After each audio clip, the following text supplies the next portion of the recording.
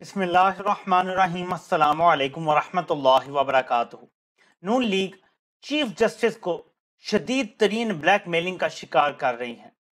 ये जो नया कानून बनाने का उन्होंने ऐलान किया है, ये कामा कमेटी को भेज दिया गया है। इसका मतलब ये है कि चीफ जस्टिस को सिर्फ़ ब्लैक मेल करना मकसद है। बेंच तोड़ दो, लार्जर बेंच बना दो या फुल कोर्ट बना दो। अभी मैं देख रहा था कि सिद्दीक जान ने भी ट्वीट किया है और ये तमाम कोर्ट रिपोर्टर्स बताते हैं कि जो ये तासुर दे रहे हैं, justice Qazi Faez Isa, justice Sardar Tariq Masood, justice Mansoor Ali Shah, justice या अफरीदी, जस्टिस जमाल मंदोखेल और जस्टिस अतर अल्लाह। इन जजेस के बारे में नून लीगी ये तासुर दे रहे हैं कि ये नून लीगी जजेस हैं, या ये हम ख्याल जजेस हैं। ये इन जजेस के लिए, इनकी रेपुटेशन के लिए भी बड़ा खतरनाक है। जस्टिस काजी फायदीसा साहब को भी सोचना पड़ेगा कि वो चीफ जस्टिस बनने लगे हैं। क्या वो ये रेपुटेशन लेके चीफ जस्टिस बनना चाहते हैं कि आप पीडीएम के प्रो जज हैं? क्या इसके बाद आपके फैसलों की कोई वक़्त और अहमियत रह जाएगी? आप अगर फेयर फैसले भी करेंगे अवाम की नज़रों में वो गलत फैसले होंगे। इस तासर को जायल करना बड़ा ज़रूरी है। इसके लिए अगर लार्जर बेंच कभी बनता भी है फ्यूचर में किसी चीज़ में तो आपको अपने फैसलों से साबित करना पड़ेगा चीफ जस्टिस बनने से पहले कि आप वाकई पीडीएम के जज नहीं है और ये इन सब जज साहिबान के लिए है जिनके बारे में ये राय आ रही है कि ये शरीफ जजेस हैं। ये बड़ी खतरनाक राय है। शरीफ खानदान ब्लैकमेल कर रहा है जजेस को। चीफ जस्टिस की सारी ताकत देने की कोशिश करने, लेकिन मैं आज आपको कुछ आइन और कानून से बताता हूँ। नाजरीन, हमारा आइन और हमारा कानून दोनों सुप्रीम कोर्ट के जो इख्तियार हैं, उनको तब्दील करने या खत्म करने की इजाज़त नहीं देता। अनलेस ये आइनी तरमीम करें, ये किसी सिंपल कानून साजी से या किसी ऐसी करारदाद पास करने से किसी चीज़ पे असरअंदाज नहीं हो सकते। आइन का आर्टिकल 68 कहता है कि इवन पार्लियामान के अंदर खड़े होकर भी आप किसी जज के खिलाफ बात नहीं कर सकते। इन्होंने जजों के खिलाफ क्या क्या नहीं किया पार्लियामेंट के अंदर से? किस तरह की आवाज़ें आ रही हैं? One man show. Chief justice को लताड़ा जा रहा है। साफ़ साफ़ अदलिया में तफरीक पैदा की जा रही है। ये आइन और कानून की धज्जियाँ उड़ा रहे हैं। आइन और कानून और उसके नीचे जितने भी जैली चीज़ें हैं। वो सब ये बताती हैं कि सुप्रीम कोर्ट को अगर ये रेगुलेट करेंगे तो इसका मतलब है कि ये ओवर स्टेप कर रहे हैं अपने डोमेन से। क्योंकि सुप्रीम कोर्ट इंसाफ का एक आखिरी फोरम है। अगर उसको भी कंट्रोल कर लेती है हुकूमत वक्त तो बेसिकली तो अदालतों का काम होता है कि ताकतवर हुकूमत पे चेक एंड बैलेंस रखना और ताकतवर से कमज़ोर को बचाना। ये अदालतों का काम होता है बुनियादी तौर पे। अगर हुकूमत कंट्रोल कर लेती है सुप्रीम कोर्ट पे तो फिर अवाम को इंसाफ कैसे मिलेगा? गरीब को, कमज़ोर को इंसाफ कैसे मिलेगा? नहीं मिल सकता। तो ये बुनियादी असूलों के खिलाफ है जो ये कर रहे हैं।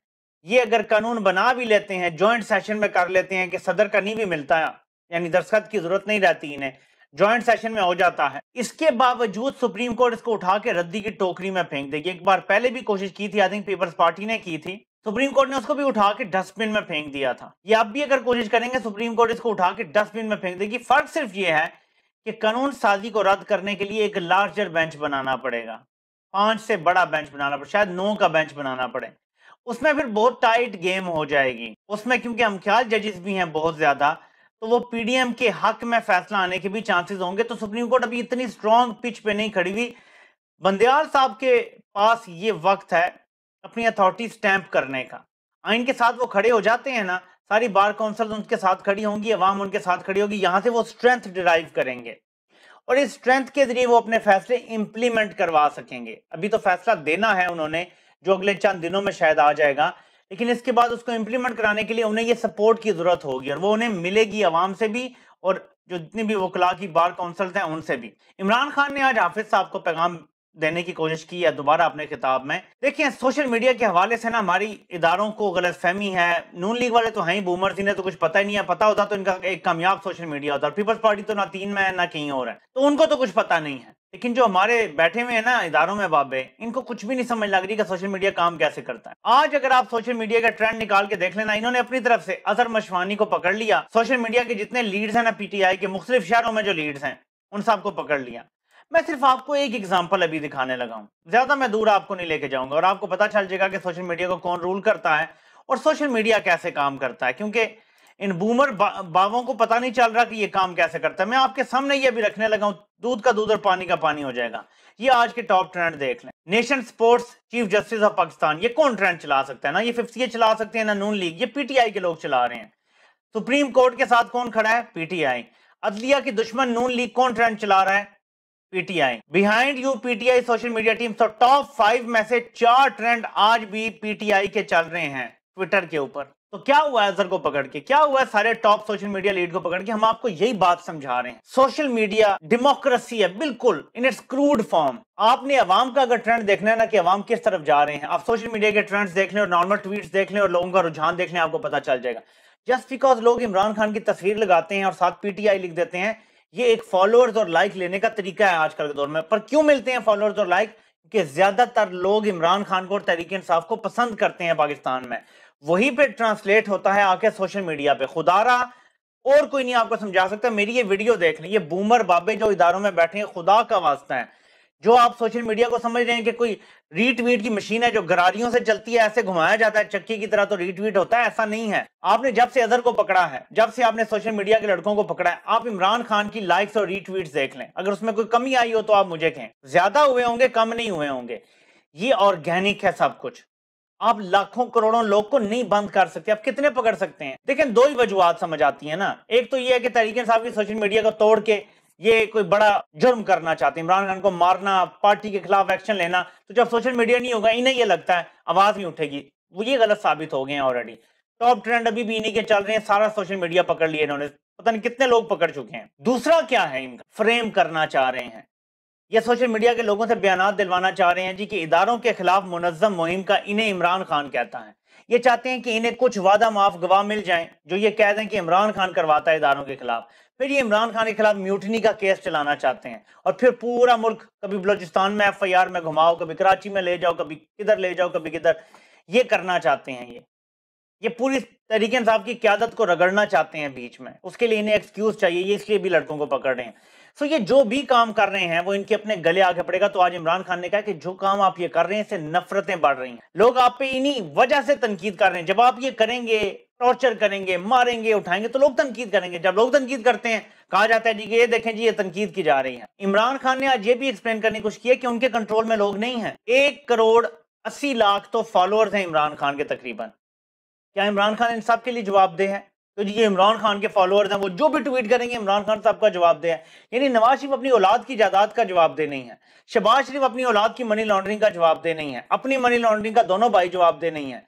बेटी की जायदादों के जवाब दे नहीं है नवाज़ शरीफ साहब। के कैसे लंडन में चार बड़े बड़े फ्लैटों की वो ट्रस्टी बनी हुई है। कोई जवाब दे नहीं है। लेकिन इमरान खान अपने एक करोड़ अस्सी लाख ट्विटर फॉलोअर्स का भी जवाब दे है। ये अनफेयर सिस्टम चल रहा है। ये एक बुनियादी वजह थी जिसने मुझे इस काम में लाया। मैं जब देखा करता था तो मुझे लगा कि अभी तो इमरान खान इकतदार में ही नहीं आया। और ये ऐसे पोर्ट्रे कर रहे हैं जैसे पाकिस्तान के सारे मसाइल की वजह इमरान खान है। ये भी से नहीं चल रहा कि इमरान खान वजी बना। ये 2011-12 के बाद से शुरू हो गई थी मुहिम। ये जो इनका हम ख्याल मीडिया है, यही मुहिम चला रहा था कि जैसे इमरान खान की वजह से पाकिस्तान के सारे मसले खड़े हो गए तो तब मैंने ये नोटिस करना शुरू किया, कई साल मैं नोटिस करता रहा और एक वक्त आया कि मेरी बर्दाश्त जवाब देगी और मैंने खुद से कुछ करने का फैसला किया और मैं वीडियोस के साथ अवाम में आ गया कि मैं भी बोलूँगा और अवाम को सच बताऊँगा। तो अभी भी वही अनफेयर तरीके से किया जा रहा है सब कुछ कि एक साइड को बिल्कुल दबाया जा रहा है और एक साइड को प्रॉप कर रहे हैं। इदारे भी, सारे लगे हुए पीछे, माली तौर पे मदद कर रहे हैं, जितने भी यहाँ पे माफिया के लोग हैं, कोई बिजनेसमैन है, कोई मीडिया के टाइकोन हैं, ये सब मदद कर रहे हैं। और एक तरफ़ इमरान खान है, अकेला खड़ा है और लड़ाई लड़ रहा है कौम की आज़ादी। इमरान खान ने हाफिज साहब को कहा है कि देखें, अभी भी वक्त है पॉलिसी से यू टर्न लिया जा सकता है। ये जो पॉलिसी है, देखें, मैं अगर आसान अल्फाज में कहूँ तो सारे लंडन प्लान पे अमल किया जा रहा है। अब ये, अगर मुझे कोई अहदा देना बड़ा और ये बात खुल जाए, या तो खुले ना तो हो सकता है मैंने वादे किए मैं पूरे कार्य दूँ। जब बात खुल जाए कि एक लंडन प्लान एक अहदे की खातिर मैंने अपना जमीर, अपनी रूह, अपने मुल्क का सौदा कर दिया है मैं फ़ौरन वो वादा तोड़ दूँगा और अपने मुल्क के साथ खड़ा हो जाऊँ। इंसान को कितना कमतर और गिरा हुआ होना पड़ेगा कि वो अभी भी वो लंदन प्लान पे अमल कर रहा हो। कितना कोई नीच वो इंसान होगा जिसकी कितनी छोटी सोच होगी, अगर वो कर, मैं ये नहीं कह रहा कि कर रहा है। अगर वो कर, मैं बार बार अगर कह रहा हूँ कि अगर वो कर रहा है। तो इमरान खान ने तो यही कहा है सिंपल लंदन प्लान का भी नाम नहीं लिया उन्होंने। उन्होंने तो सिंपल ये कहा है कि अभी भी इस पे रीथिंक करें। ये सोच खत्म करें जी के तरीके इंसाफ को हम खत्म कर लेंगे, तोड़ लेंगे, सोशल मीडिया को तोड़ लेंगे। इमरान खान ने तो यहाँ तक कहा कि खुदारा किसी को हायर कर लें जो सोशल मीडिया को जानता है, ताकि वो आपको सही गाइडेंस दे सके कि ये फिनोमिन है क्या। क्यों तरीके इंसाफ को इतने फॉलोअर्स मिलते हैं, इतने ट्वीट्स इतने रिट्वीट्स मिलते हैं? अच्छा कई मीडिया के जो पुराने घोड़े हैं, वो पता क्या बात करते हैं बाबे? देखें जी, तरीके इंसाफ के हक में लोग बात करके ना तो लाइक्स और रीट्वीट्स लेते हैं। आपने कभी सोचा कि तरीके इंसाफ के हक में बात करके लाइक और रीट्वीट क्यों मिलते हैं? क्योंकि लोग तरीके इंसाफ के साथ खड़े हैं। दिस इज़ डेमोक्रेसी जो आप समझ नहीं पा रहे यही जमहूरियत है। अवाम की अक्सरियत जिस साइड पर है और जो वो सुनना चाहती है, इसका मतलब है कि वहाँ पे जमहूरियत खड़ी है। आज आपको अगर जमहूरियत का साथ देना है if you believe in true democracy तो आप सबमिट करेंगे इसके सामने।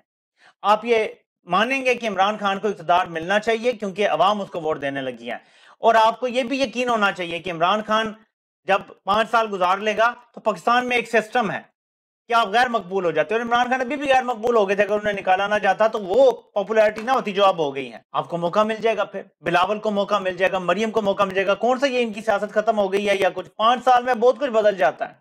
हालात इतने आपने खराब कर दिए कि इमरान खान एकदम तो नहीं आगे ठीक कर लेगा ना? बड़ा वक्त लगेगा, बड़ा मुश्किल होगा ये। ऐसे में अगर आप सफ़र कर, देखें स्टैब्लिशमेंट इमरान खान को मशरा दे रही है जी मुल्क छोड़ के दो साल के लिए चले जाएँ। मैं एक और बात करता हूँ। अवाम क्योंकि इमरान खान को वोट देना चाहते हैं तो स्टैब्लिशमेंट नून लीग और पीपल्स पार्टी के टॉप लीडर्स को कह दे कि दो साल, तीन साल के लिए आप मुल्क से बाहर चले जाएँ। अगर आपको ये डर है कि इमरान खान आके आपको लटका देगा मुल्क से बाहर चले जाएँ दो, तीन साल के लिए। यानी सबसे मकबूल बंदा जिसे अवाम बनाना चाहती है, उसे आप बाहर भेज रहे हैं। जिस पे अवाम तुकती भी नहीं, आप उनको रखना चाहते हैं इकतदार में। इसका लॉजिक है। उनको बाहर भेजते हैं भाई, अगर आपने इतना ही उनको बचाना है, इतना ही प्यार है उनसे दो तीन साल में वैसी एक हुकूमत कमज़ोर हो जाती है, गैर मकबूल हो जाती है, उसके बाद आ जाए वापस अपनी सियासत करें। नहीं तो पाँच साल बाहर बैठे रहे और जब इलेक्शन हो तो आ जाए वापस। देखें, पाकिस्तान ने अगर आगे बढ़ना है तो अवाम की बात माननी पड़ेगी। वरना ये जो कोहिजन है ना, नेशनल कोहिजन, ये आप तबाह कर रहे हैं। पाकिस्तान की इंटेग्रिटी पे हर्फ आ रहा है। अब दुनिया थूक रही है राना सनाउल्ला ने जो ये स्टेटमेंट दिया था। सारा आलमी मीडिया अब इसको रिपोर्ट कर रहा है कि राना सनाउल्ला ने कहा जी इमरान खान को हम कत्ल कर देंगे, या वो नहीं या हम नहीं। कितना आपने जलील करवा दिया? वो वज़ीर तालीम जो बैठा हुआ असेंबली के अंदर कैसी बातें कर रहा है वह हयात किस्म की, यानी कहाँ आप ले गए हैं पाकिस्तान को? क्या ये आपका स्टैंडर्ड है? ये आपकी सोच है कि इस तरह के लोग बैठेंगे पाकिस्तान में? एक लफ्ज जो सच नहीं बोल सकते, वो लोग हैं आपका स्टैंडर्ड। दोबारा सोच लें, इमरान खान भी यही कह रहा है, पूरी कौम यही कह रही है। दोबारा सोच लें, अपनी सोच को बदलें। कौम को आप दुश्मन बना रहे हैं। जब आप लोगों को नंगा करते हैं तो वो रिटेलिएट करते हैं। अगर आप नंगा करना छोड़ दें, लोग रिटेलिएट नहीं करेंगे। आप हैं जो फौज के खिलाफ लोगों को करने की कोशिश कर रहे हैं। लोग अब भी फौज के खिलाफ नहीं है। लोग अब भी चंद किरदारों के खिलाफ हैं। उन किरदारों को आप अगर साइड पे कर दें साफ़ सुथरे लोगों को आगे ले आए और वो इस तरह आवाम को ट्रीट ना करें जैसे ये दुश्मन है या दहशतगर्द हैं, आप देखेंगे ये एकदम फ़र्क पड़ना शुरू हो जाएगा। बाकी आप जो मर्दी बंदर की तरह छलांगे लगाएँ, सोशल मीडिया को पकड़ें, कोई फ़र्क नहीं पड़ेगा।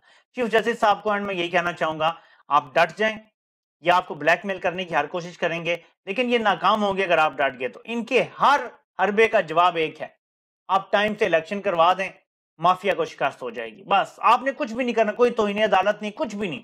टाइम से इलेक्शन करवा दें, ये इनकी शिकस्त होगी, ये इनकी मौत होगी सियासी। आपसे इंशाल्लाह फिर मुलाकात होती है। अल्लाह पाक आप सबका हामी नासिर हो। आप सबके सुनने का बहुत बहुत शुक्रिया।